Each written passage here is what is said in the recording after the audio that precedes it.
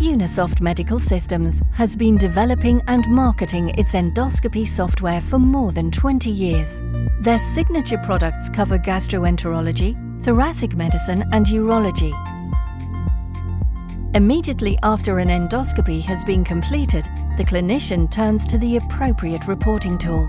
Here they mark the locations on a diagram of the anatomy where abnormalities were seen, therapeutic procedures carried out, and specimens taken during the procedure. Video clips and still images can also be attached electronically to the reports.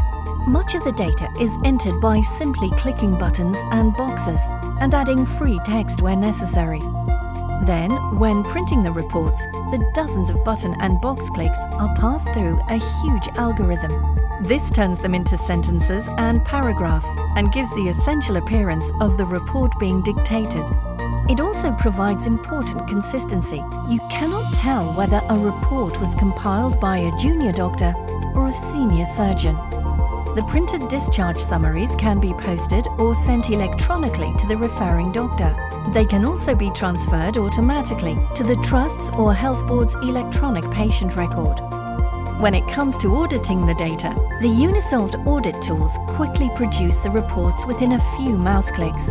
These include all the reports required by JAG, the Joint Advisory Group, GRS, the Global Rating Scale, and NED, the National Endoscopy Database.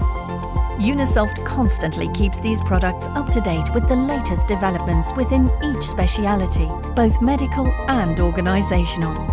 Unisoft's endoscopy reporting tools are installed in nearly 300 private and public hospitals throughout the UK and the Republic of Ireland and is one of the reasons Unisoft is considered by many to be the market leader in this field.